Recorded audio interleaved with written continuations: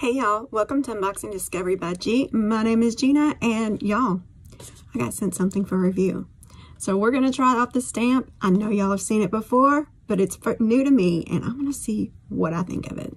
So this is from iMethod Beauty. It is their eyebrow stamp. It comes with stencils, so you just put a stencil over your brow and stamp your perfect brow on. That's what it says anyway. Let's see how it goes. This is color number three. Don't forget to follow them. And they guarantee their products, y'all. Yes, no questions asked, full refunds. That's awesome.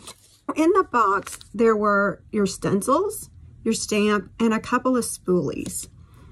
So, oh, I want to open these up and see what I think. So you have all these little stencils. They've all got cute little names, y'all. Uh, confidence, there's Queen, Elegant, Heroine, Sexy, all kinds of stuff. Let's see which one I think. Down to two. It's either classic or queen. Hmm.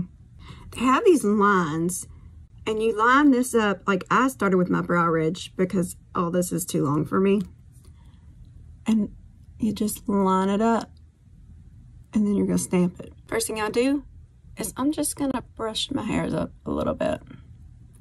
I have been, you know, putting stencils up to them. So here's what we got. The product's in the lid, and this is just a little foamy stamp.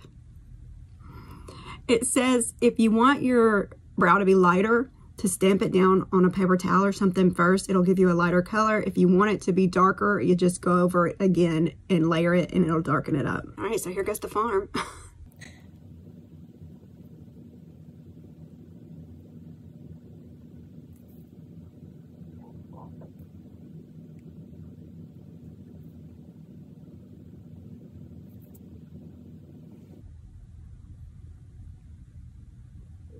So I just took the spoolie and brushed it out just a little bit, just to dilute it because you know me, I am not used to a lot on my brows.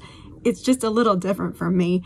But I have to say, I mean, it gave me the shape. I could always tweeze or shave off to give me that proper shape. And you can always clean it up with a little concealer or something if you think you went too far. I mean, it's not bad. It's different and it's fun. Let's do the other one. The most difficult thing is holding the stencil in place. That's That to me is what's hard. I think I made it too high. I just brought it up a little high. All right, so what do we think? I just kind of placed them up there again, stamped a little more just to get a little more of the proper shape.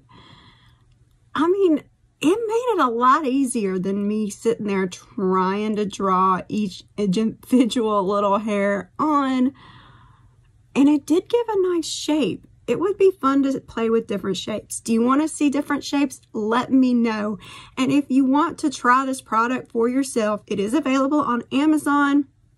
But y'all, I got a discount code. So if you want to get 10% off on any of their products, you know, they've got the stamp wing eyeliner. They have a wax for your brows. They've got this awesome, very cool, fun product that is viral, by the way. Viral products we love. And so if you want to get the 10% off, use the code iMethodFans.